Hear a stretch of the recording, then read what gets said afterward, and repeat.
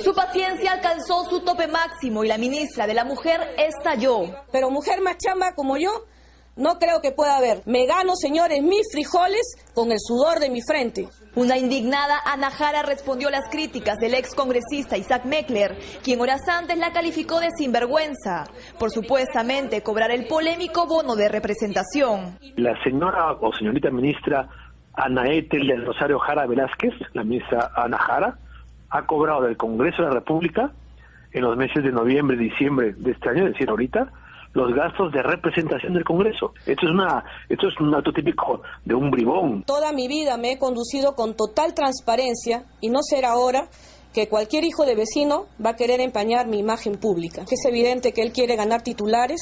Jara aseguró que renunció a percibir un sueldo como ministra y que solo recibe el salario de congresista. Cuando fui convocada para el cargo de ministra de Estado, yo decidí no percibir un solo sol como ministra de Estado, porque mi condición primigenia era la de congresista de la República. Aseguró que de igual manera abdicará el aumento del bono de representación del 2013. Yo no lo voy a percibir.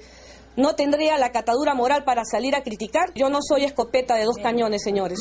Pidió a su acusador no valerse de su nombre para dañar su imagen y desinformar a la población.